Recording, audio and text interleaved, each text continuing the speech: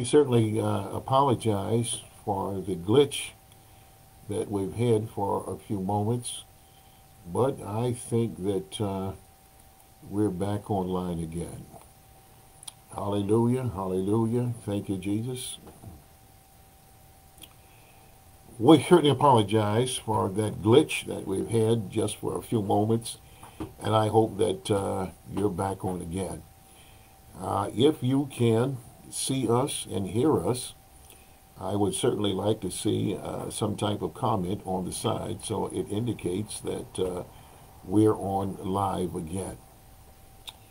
So I want you to understand, my brothers and sisters, that anytime that uh, we have a relationship with Jesus Christ, it means that there is a revelation that God has given us to remind us that we are the children of God. There is a manifestation that God reveals of himself that we are the children of God. This means that we have been baptized in the name of the Lord Jesus Christ we have been filled up with the person power of the Holy Spirit. And that means that now that sin has no longer range or rule or dominance over us. So once we take the opportunity to look at the Apostle Paul as he writes to the church community of baptized believers, he gives us the assurance through his word, through the unction of the Spirit of God, as he writes in his journal, he lets us know that we are no longer debtors to sin. That once the eternal God resides in our heart, He is the one that directs us, He is the one that leads us and guides us. I want to read something to you, and I ask that you follow along with us very intently and allow the Word of God to percolate in your heart and in your mind. All right? The Bible says this in Romans chapter 6, verses 11 through 13. And I'm reading through uh, God's Word Bible. But prior to doing that, let me say this to you. To effectively address the two natures in the believer. Now, some will allude that there is only one nature, and some will allude that there's two natures. Now, this is something that we certainly need to follow very clearly. The struggle between these two natures explain the present conflict we experience within our members. And certainly there is a conflict. The Bible reminds us of that through the essay of the Apostle Paul that speaks to us in the book of Galatians, chapter 5 and verse 17. And hopefully we'll come to that even tonight. The study or investigation that follows is a biblical template on how to have mastery over conflict in your life in sin. The key thing, my brothers and sisters, is that the eternal God has put everything at our disposal to be successful and have the mastery over internal conflicts. And keep in mind, all of us, regardless as to who you are and how long you've been saved, how long you say that you are a Christian, a child of God, there is going to be some internal conflicts that's going to occur. The key thing is, by the grace of God and following his word emphatically, that we have the power that he has invested in us simply because we have been born again and we are believers. And not only believers, but we hear the word of God. No longer are our ears impaired by that enemy of God that seduced, deceived our federal head, Sister Eve, and certainly Adam sin willfully. My, my, my, my. So let's look at this again, if you will. So, if I'm saying that there is two natures inside of the believer, then we must understand how these natures operate. For the Bible tells us that we are in conflict, that they are contrary to one and the other. As we rehearse these scriptures tonight, as we investigate the two natures, I pray that you will listen and go along with me in reading and studying, but at the same time, that you will be inspired to do research apart from this Bible study tonight. I'm reading once again in the God Word Bible, and I'm using the King James as well. But I'm reading of Romans, Romans, in particular, chapter 6, verse 11 through 13.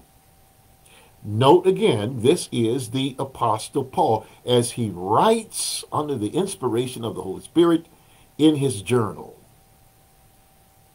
And he sends these inspired parchments, papers, to this church that believes in its totality of Christ and that glorious gospel of good news that we can be emancipated from sin and no longer under the domination of sin dictating to us what to do. Some, certainly, and I'm going to talk about that tonight, some will say that there is the absence of a duality of natures inside of the born again believer.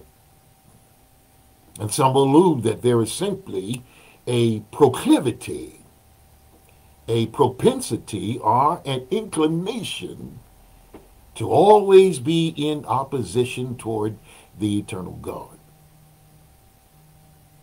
I want you to understand, my brothers and sisters, that God is able to give us strength and grace in these times of difficulty if we walk,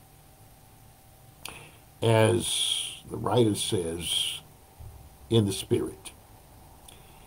Walking itself, it means that we have our activity, our life in the Spirit, that He governs us. We hear His voice through our spirit. And because we are connected with Him through spiritual birth, we now follow Him. And there must be some resemblance of our Father in us. That means that we yield to the Spirit which means give right away. And we can be successful in our walk with the Lord.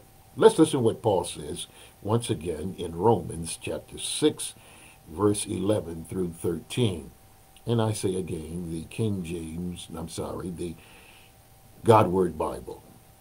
So consider yourselves to be dead in sin's power. Consider yourselves to be dead in sin's power authority, dominance. So sin to the believer uh, has no power, has no dominance over the child of God that has been born again by the Spirit. And this certainly takes us back to the Gospel of John, chapter 3, verses 3 through 7. And might I add also in 1 Corinthians chapter 12 and around verse 13. So it has no power, but living for God in power, Christ Jesus gives us. Now, I want you to understand what I'm saying at this particular point. It has nothing to do with your power, my power, my intellect, being astute, being intellectually inclined.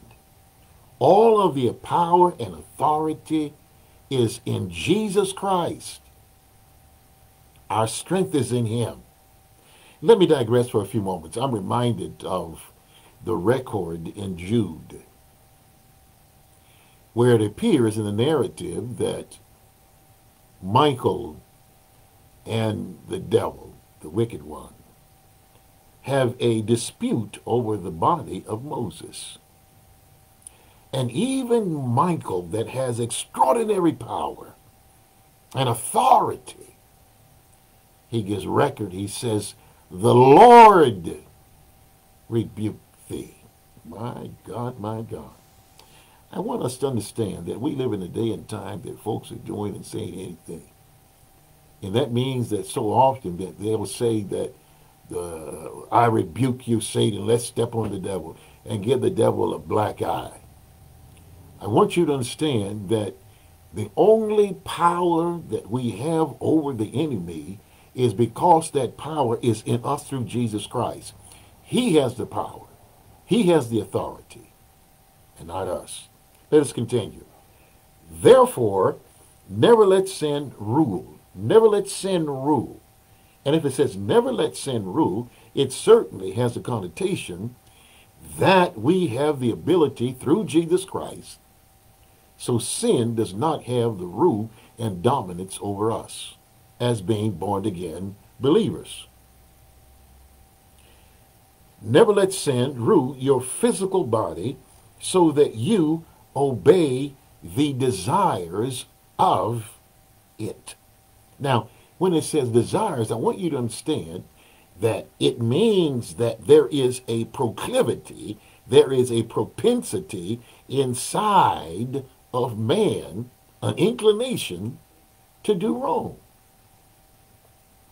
I think what happens, the novice Christian, the one beginning, the one starting this Christian race, and when they sin, when they fall short of the glory of God in the kingdom of God, they become discouraged.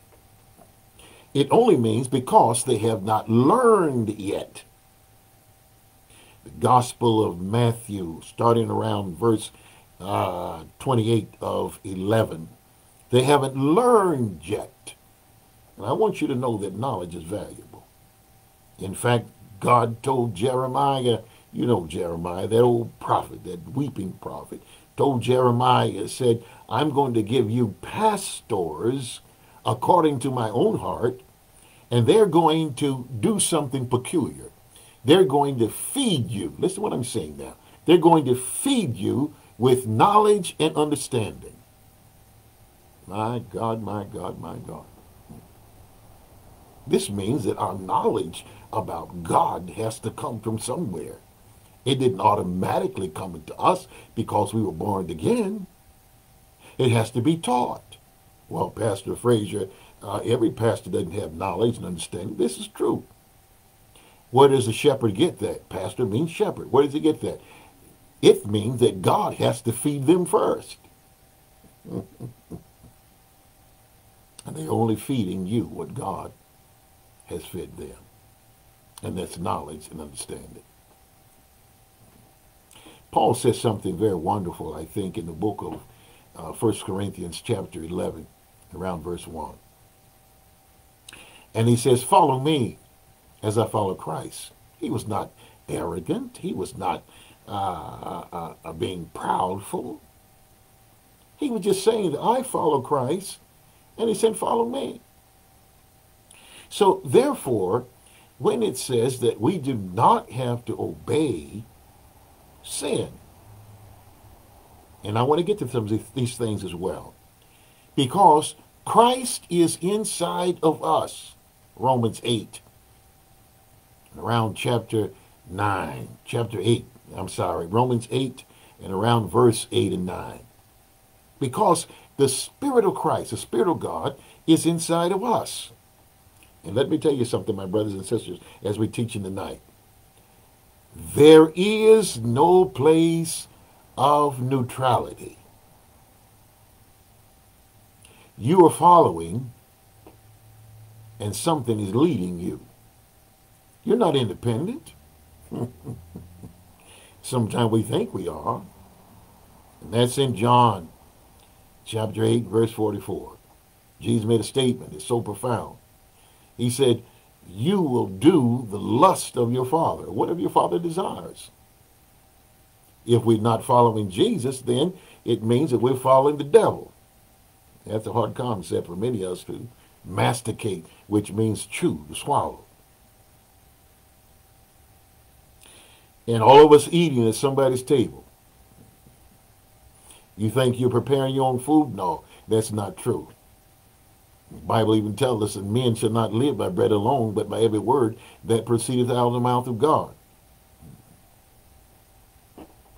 Your actions determine who you're following. Your thoughts, your emotions, your behavior. Let us proceed. The Bible uh, certainly goes on as Paul begins to write and, and conveys to us what God has given him. Never offer any part of your body to sin's power or sin's authority. And when he says that don't offer a part of that, he's telling us, in actuality, our senses. Be careful what you look at, what you see, what you smell, what you taste, what you touch. This is how the enemy that is in so many individuals. Now, keep in mind, this means the unsaved, and this means the influence that the enemy has to the born again Christian. It's something that is very extraordinary, I think. Perhaps you may think the same. This means that the enemy or Satan has transformed into something light, and it's not unusual for us to think that his ministers have done the same. Now, notice what I'm saying. If Jesus Christ has ministers that are preaching his unadulterated word, then it certainly stands a reason that the Satan uh, God of this world is doing the same thing or has the capability of doing that. We are transporters of his word. For the Bible tells us in John chapter 6 and verse 63 that his word is spirit and life. And if his word is spirit and life, it means that we eat God's word. We masticate God's word. One writer declared, I esteem thy word more than my necessary food. So it's something fueling us. It's something feeding us to make us act the way that we do. How many times you prayed and said, Lord, your will be done? Because it's either God's will that is operating in you or it is the will of the enemy that is operating in you. If you have not been born again, then it means that you are under the auspices of the enemy. Ephesians chapter 2, verses 1, 2, and 3. The children, spirit of disobedience. It's either the spirit of God that's working inside of you or the spirit of the enemy.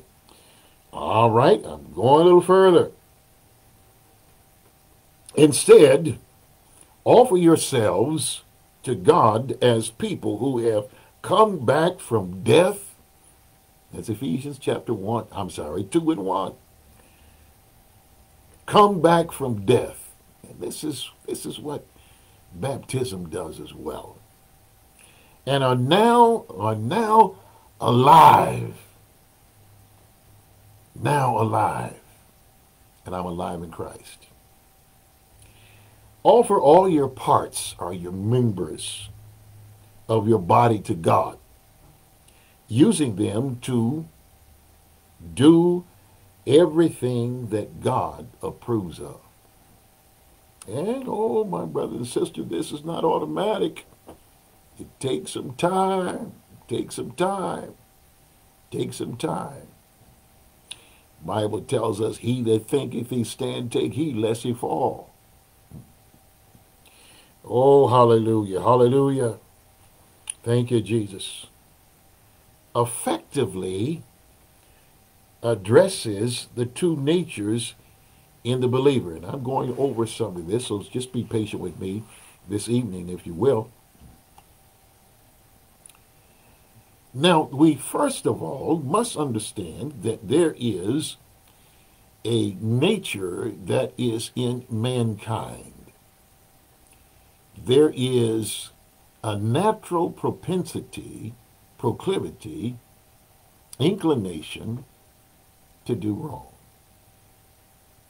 It's in all of us. I don't care how long you've been on this earth, it's in all of us. Well, Pastor Frazier, what about those folks that uh, do good? They're charitable, they're benevolent. You know what Paul said about that? Paul says his righteousness is as filthy rags. My, my, my. Now keep in mind, if his righteousness is as filthy rags, I want you to know that mine was and yours was as well. The fallen nature acquired, where did it come from? Who gave it to us? Why do we act the way that we do? Why is the world the shape that it's in? Have you ever asked those questions to yourself?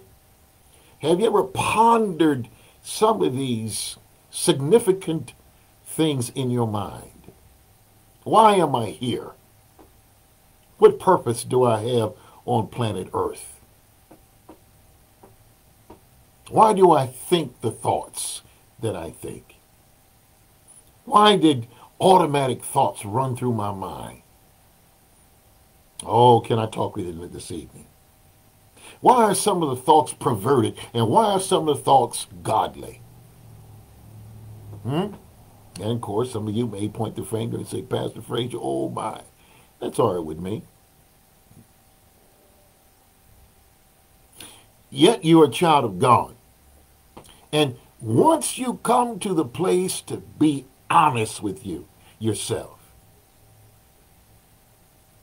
then God can get, begin to help you. I gave reference the other day talking to someone, and I made the statement, how in the world can you get a positive response when somebody asks you for help or advice and they give you a hypothetical narrative? Well, you have to give a hypothetical response. But oh, when we open our heart and not afraid to self-disclose, not afraid to be vulnerable, then God can help us. But a whole lot of Christians, and let me say that again, Christians have not come to that place in their journey, their walk with God. And yet at the same time, we're fooled, self-deceived, because God knows everything about us that can be possibly known. And even those secret things, those presumptuous things, and nothing is hid from God. Even the night is as day before our Creator, the eternal God. Oh, hallelujah. He's always there. He is omnipresent. Oh, check out Psalms 139. Hallelujah, hallelujah, hallelujah. Let's proceed. What does the Bible say about our sinful nature? And if any time we want to get valid information, we need to go to the Bible. Now, not only we need to go to the Bible, that's first step, but we need to seek the mind of the Lord because these things are only spiritually discerned. And we try to put our own tint on them. And many times we miss what the eternal God is trying to say uh, to, to us. Those who live according to the sinful nature, now hear what I'm saying, that sinful nature. I'd like to say it like this so it really hits us. That old you my, my, my, my. That old you, prior to being born again. That sinful nature and what comes natural. It's natural for a bird to fly. It's natural for a fish to swim. And what happens is that bird, under any circumstance, catch the bird. The bird's in your hand. The bird starts moving, moving, very abruptly. And the first thing comes to your psyche, and the mere, mere fact that you think the bird is trying to escape. I'll give you that. But in actuality, the bird is only doing what it naturally does. The bird is trying to spread its wings. The bird is trying to fly. Those of you that fish, and when I say fish, I'm talking about catching some fish, not just going fishing. I've got some friends of mine. We we fish, and sometimes we're successful, and sometimes We're not. You know who you are. But let's go back to our subject. Certainly, I think we had consensus this evening to say that fish swim. It's their nature. It's what they do naturally. Catch the fish, you break them out of the water on your rod and reel. And you see, you see him wiggling like this, right? I want you to know that the fish is simply trying to swim. He's just in a new environment. And those of you that would catch the fish and you didn't have some place to put him or a stringer, etc., etc., but you would take the fish and you throw the fish on the bank. And the old fish was doing like this. You said, oh my, the fish is flopping. The fish is trying to get away. No. The fish is in a new environment. And the fish is simply doing what is in its nature. And that's trying to swim. I say that to say this that when you have a sinful nature, that nature is always turning towards sin. It's in opposition toward God. And there's a whole category of those things that the sinful nature does. And that, once again, is in Galatians chapter 5, and you can start with verse 13 and come right on down to 16. It's also found in 1 Corinthians chapter 6 as well. And take opportunity to read those particular scriptures at your leisure. So therefore, it is the sinful nature have their mind set on what that nature desires. Now, it means the mind. Something uh, Jeremiah says again, I want to bring it to your attention and I would certainly encourage you to uh, search it out in its entirety and ask God to give you a understanding of that particular passage of Scripture. Jeremiah says this. He says that the heart is deceitful above all things, and it is desperately wicked. One writer says the mind those things that are in the soul of man, the mind, the heart, ah, his personality, his character. And I'm certainly under persuasion to accept what the writer is trying to convey.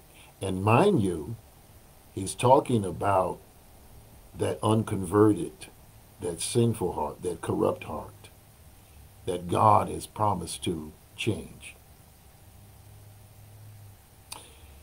and that body will trans is a tr method of transportation to carry out those desires that they're manifest in your body or in the world or in this environment. And ironically, because many of us do not study, do not search, the Bible tells us to do so, search the scripture that we fail to understand that many times we think it's our desire, but if you note something, the Bible says that the desire of your Father you will do. Did you know that Jesus Christ himself in his earthly ministry simply done the desires of God? And that ought to be us, that his desire is manifest in us.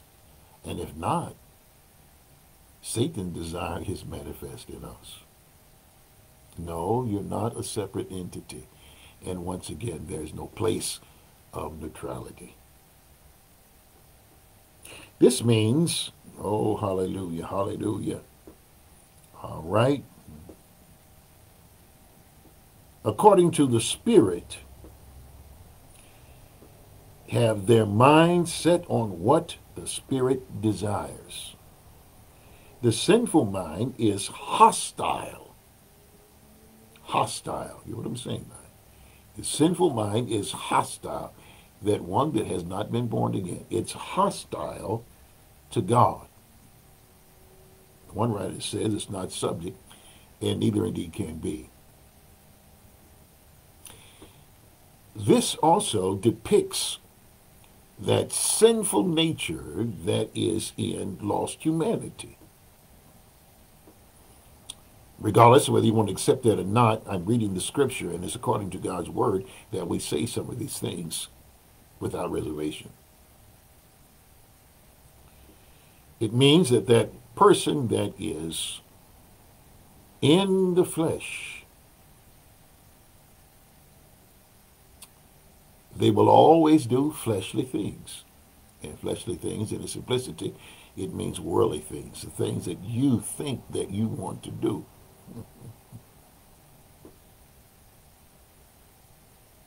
My, my, my, my.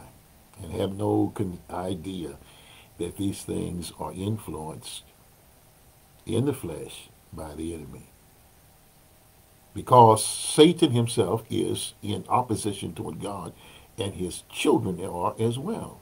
Those that lie, well, that's what the Father does. He's a liar. Those that murder, that's what the Father does. And because they are Satan's children, they will do the desire of their Father. My, my, my. So that stands to reason. If you are the children of God, you should do and follow the desires of the Lord. It does not submit to God's law or God's, God's rule, God's authority. And the Bible says, nor can it do so. It just can't. It just can't. Until God's Spirit comes inside of us and makes his abode, his resident, he abides in us. We can never, hear what I'm saying? This is an absolute.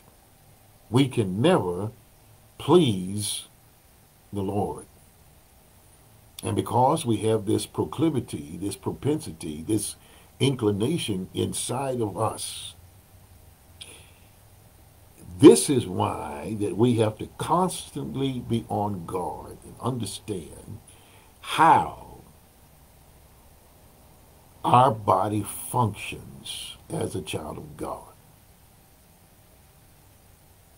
You can be successful in your walk with God every day.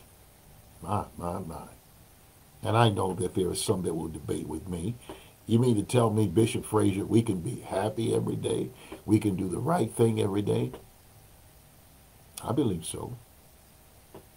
I believe so. And he is the one that is able to assist us and guide us. Something else I want to interject as we go along here, and maybe I should hold it for a little later.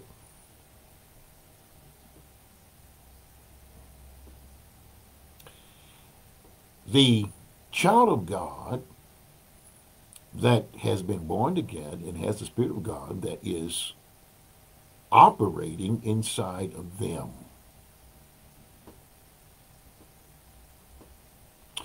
This means that you are walking in the Spirit. What does it mean walking in the Spirit? It only means that you're living by the Word of God. Walking in the Spirit. Bible tells us once again in John 6 and 63 that this means that his word is spirit and life. And this also means that Jesus said that men shall not live by bread alone, but by every word that proceedeth out of the mouth of God. So we know emphatically that we're in his will, following his desire, when we obey his word. No, Jesus made a statement in his earthly ministry and said this, and I think it speaks volumes. If ye love me, and this is the determining factor, if ye love me, he says, keep my commandment or keep my word. My, my, my if you have fidelity. My God, my God. And he made a profound statement and said, Why call me Lord, Lord, and do not the things that I say. Oh, it takes us a lifetime to work on us and not work on everybody else. Bishop uh, Williams in Anderson, Indiana, said something that was so striking to me on one occasion. He said, Frazier, he said, I tell God, Lord, save me, work on me. And I've adopted that for myself as well. Lord, I'm the one need to be worked on. I'm the one need to be saved.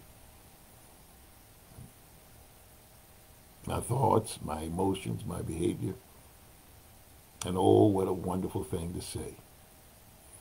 But so often we're so very critical to other individuals.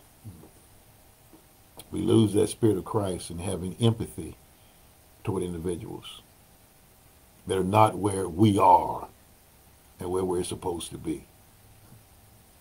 Lord, as Bishop Williams would say, Lord, save me from me. And I, oh, I think that's a profound statement that all of us should adopt. Lord, save me from me. Why? Because we are our biggest enemy. Yes, I'm talking about you. I'm talking about you. You. Yes, I'm talking about you. You know when I'm pointing my finger right now, I'm pointing at me as well.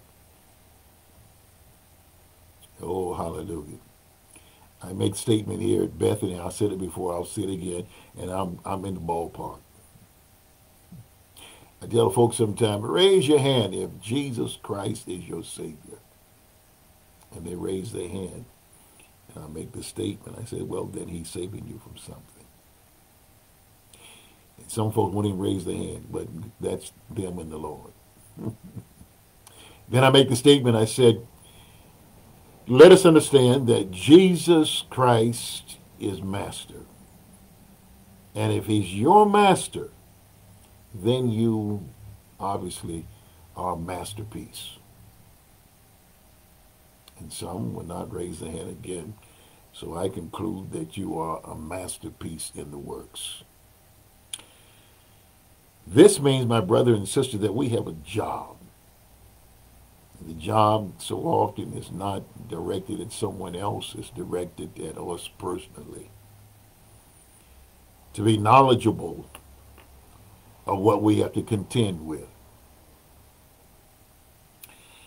Some will say that there is no such thing as original sin.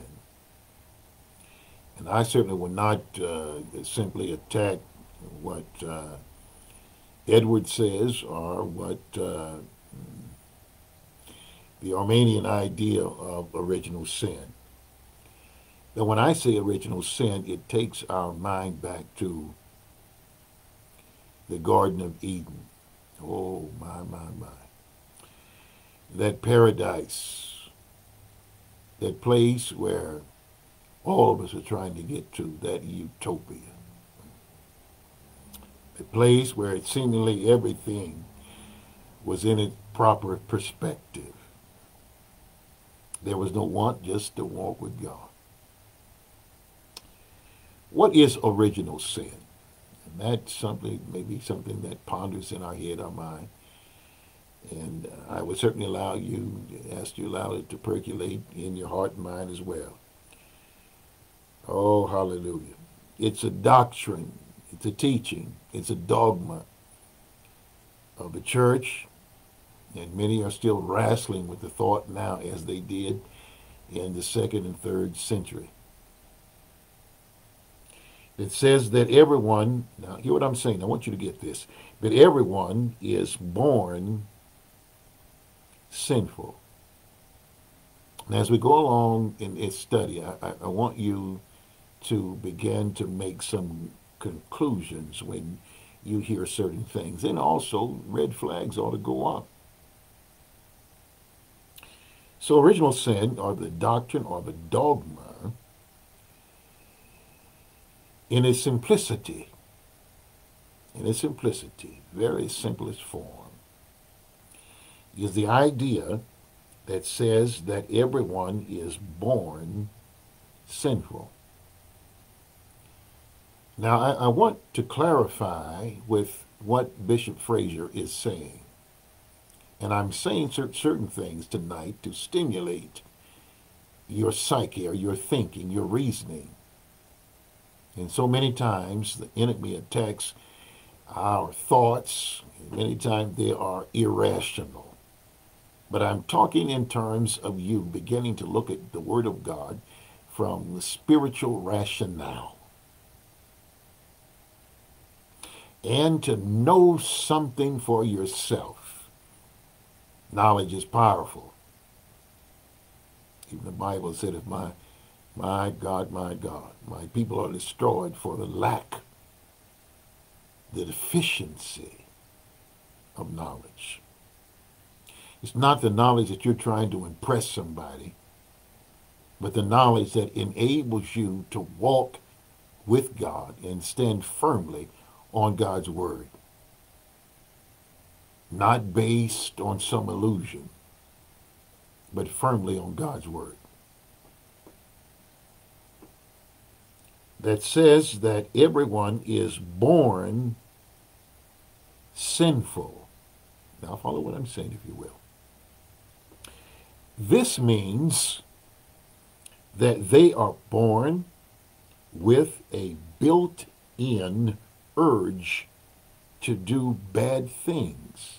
This is a proclivity, a propensity, an inclination. And to obey or disobey God. It is an important doctrine. Now, one of the key things that one must consider as a student of the Bible. I must do research, I must investigate to see whether or not these things are true. Because the saying that I have, wrong information, wrong destination. The Bible typifies a group of individuals that were called Bereans in the book of Acts. They did not exclude, they did not give themselves to repudiate, rebuff, but they searched the scripture to see whether or not what was said was true.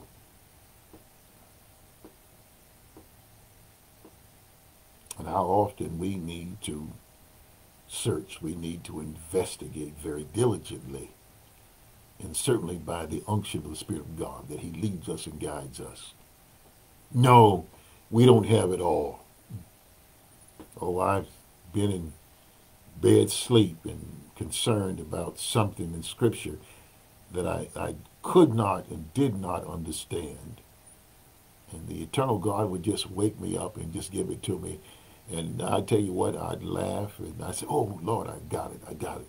Thank you, Lord. Thank you, Lord. now, I'm talking about my relationship with the Lord. And I love his word.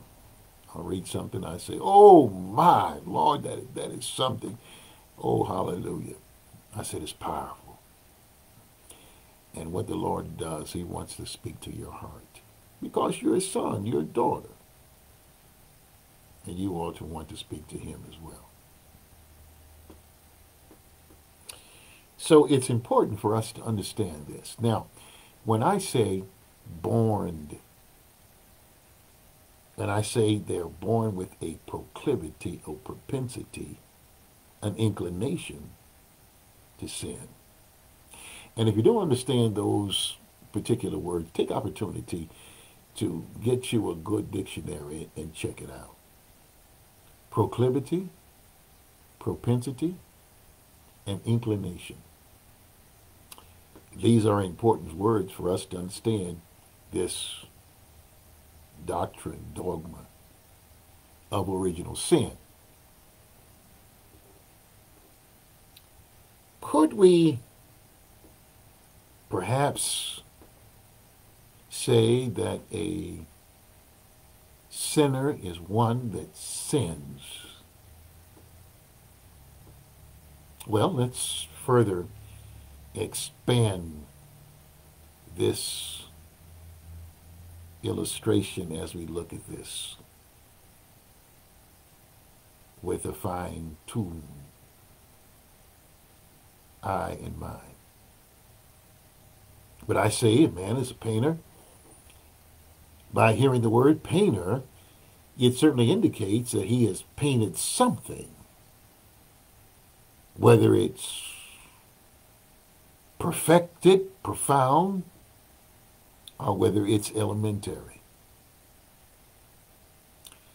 If I would say a man is a race car driver, it would certainly indicate that he is driving some type of vehicle and that he perhaps is racing.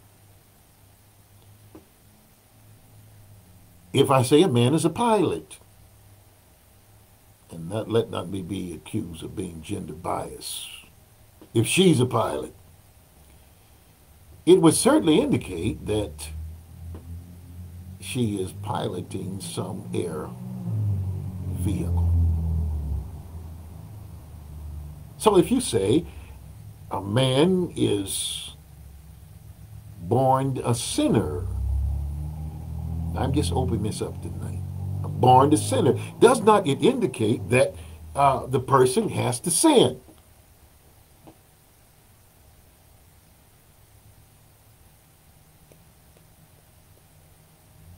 I would certainly think that we'd have consensus to say this is true, or at least it's plausible. Let's let's proceed. I hope I'm I'm putting something uh, on on the table.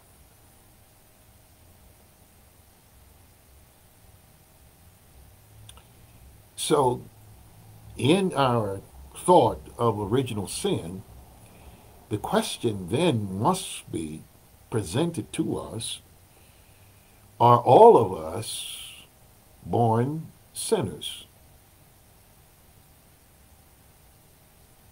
Let me say that again. You Bible students, are all of us born sinners?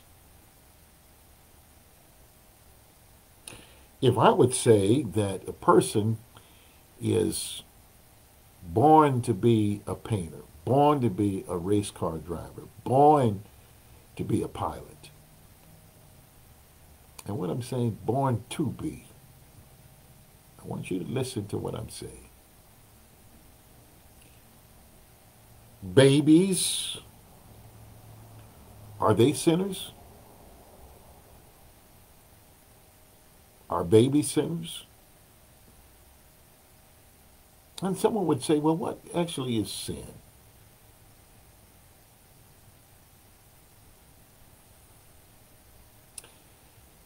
let me put this in your mind too as we study tonight and as we go along. And I want you really to hear what Bishop Frazier is saying. And as we take opportunity to allow the Word of God to percolate in our heart and our mind and all these particular things, we all love the Word of God.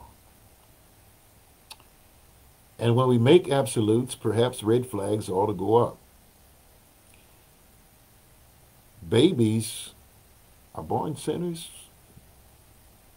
Well, let me say this, and uh, to stimulate your heart and your mind to do some research and study. If we were on a telecast, we'd make a commercial right now and say we'll come back because we're almost at the end of our study tonight. I want to leave this with you, though, and I'll pick this up uh, next Bible study. So I'm giving you way in advance to do some personal research. Babies are not born sinners. Now the question is, are they or are they not? This is what you have to research. You'll have to do. No person is a sinner until he or she violates God's spiritual law.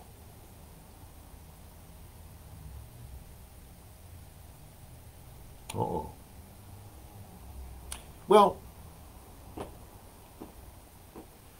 is a fisherman a fisherman, or once again, fisher lady, fisher woman, until they catch any fish? Is a painter a painter until they paint? Is it a pilot a pilot until they fly? Is a race carver, race driver rather a race driver until they get in the automobile and race it.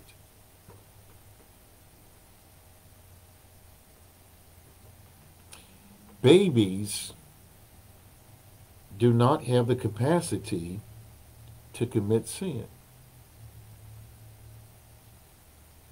I gave you a category and I called Galatians chapter 5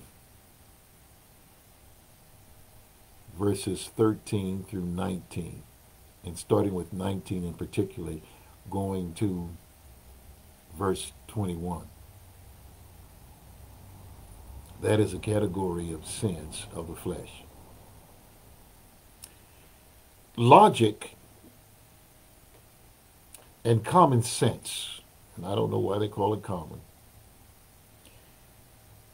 dictate that the idea of original sin, hear what I'm saying now, might be contrary to the very nature and character of God's Word.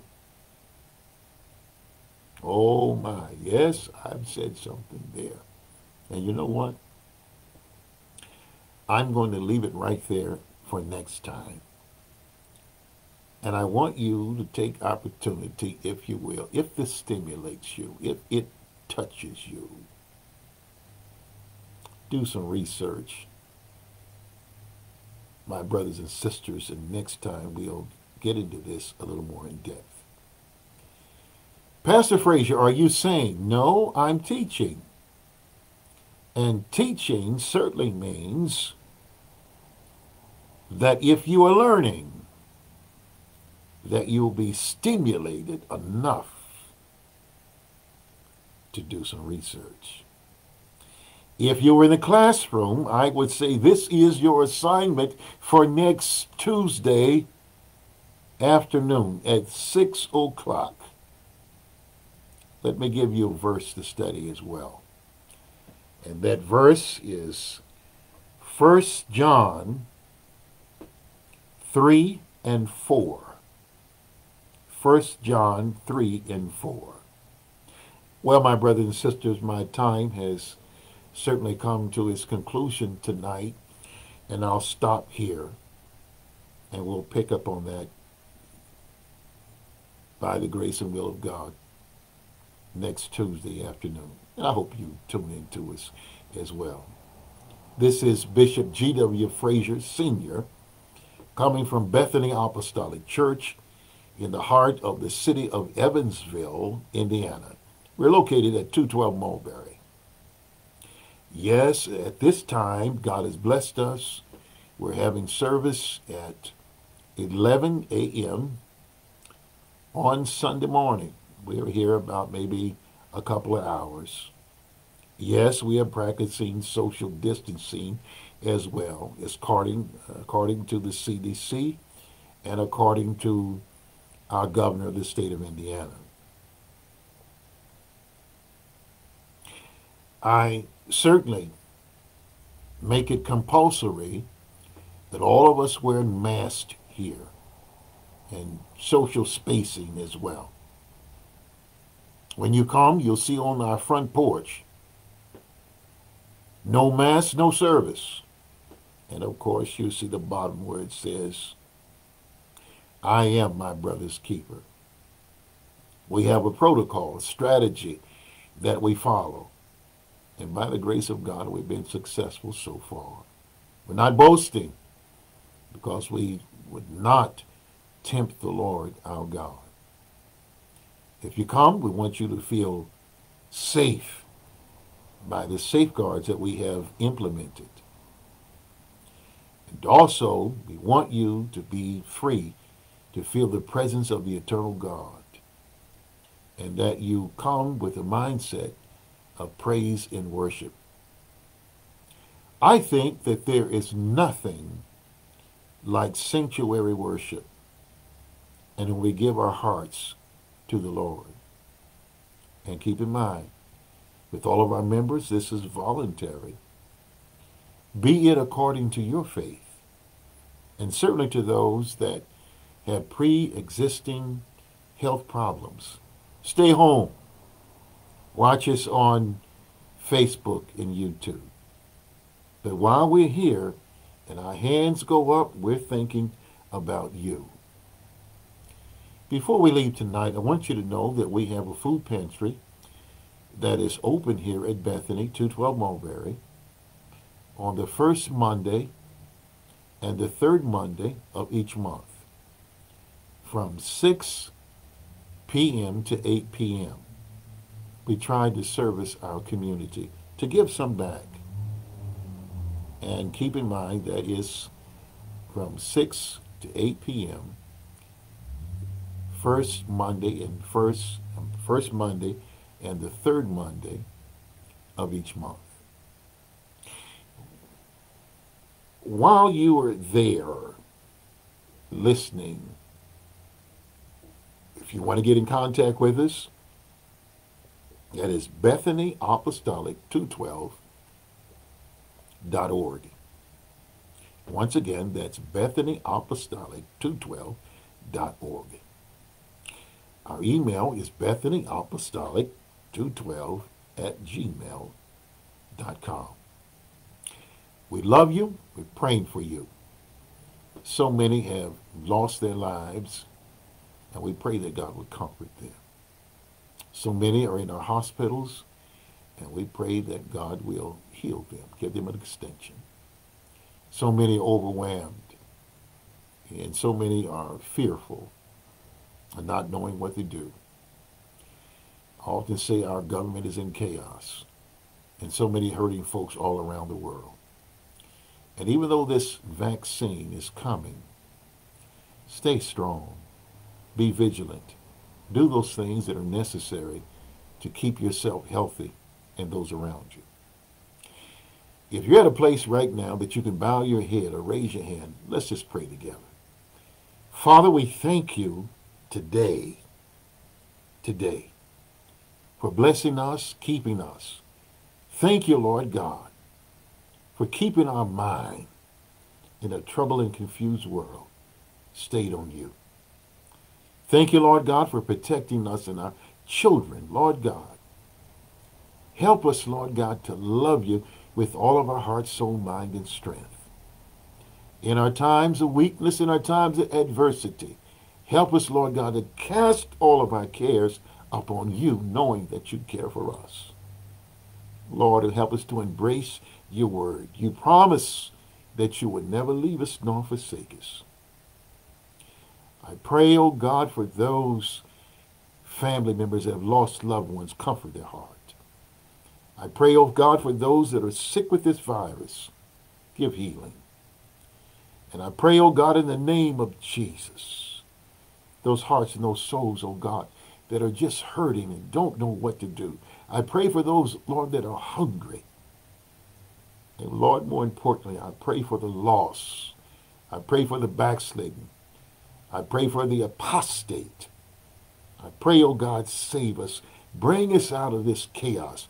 Bring us through this time, Lord God, of crises. Help us depend upon you. Help us to love one another. Oh, Lord, watch over, strengthen us. Keep us according to your will, according to your purpose. In Jesus' name we pray. Amen and amen. Until next time, my brothers and sisters, be encouraged. This is Bishop G.W. Frazier Sr.